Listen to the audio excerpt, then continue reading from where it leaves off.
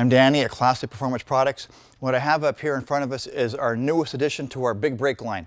So we've had a 13 inch front and a 12 inch rear brake, I don't know, for almost 20 years. Now what we've just upgraded into is a 14 inch disc in the front and a 13 inch disc in the rear. Uh, it's a, a pretty straightforward upgrade.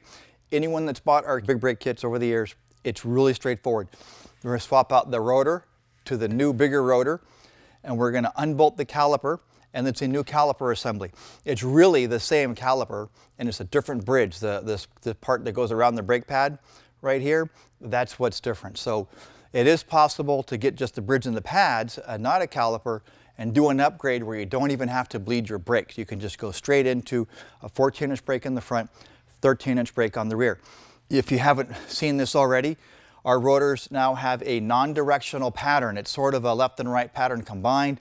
They're still drilled, they're slotted, um, they, they, got a zinc finish, so, so it's not going to get all rusty and nasty on you, but the zinc helps protect it.